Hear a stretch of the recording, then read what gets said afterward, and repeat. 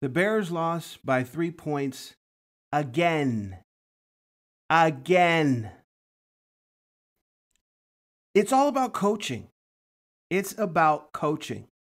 When you lose that many games that are so close in terms of margin, it comes down to the coaching. We clearly have a quarterback. I know people were doubtful before. People were asking for Justin Fields again. They were saying, oh, we miss Justin Fields. We want Justin Fields back. Like, this is the biggest pain point that I have with a lot of Chicago fans is you're so wish-washy. You praise everyone that first comes here. And then when they struggle, all of a sudden you want them out. You want the last quarterback that we had last year.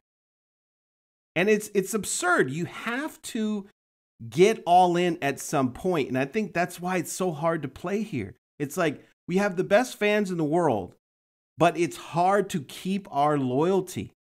In fact, look at what happened with Derrick Rose. Everyone says, oh, don't say anything bad about Derrick Rose. He's a hero. He's amazing. He's an icon. He's the rose that came from the concrete. But you forget how for two years you roasted the man, roasted him for being injured. He kept getting injury after injury, and the jokes and the memes and all of the criticism came out about he, how he couldn't keep himself healthy. Yet now you want to celebrate him. It's no wonder why he doesn't want to come back to Chicago. Why he had all these opportunities to sign with Chicago, but he didn't. Because he remembers you, Chicago fans, giving him hell for getting hurt. Absolute hell.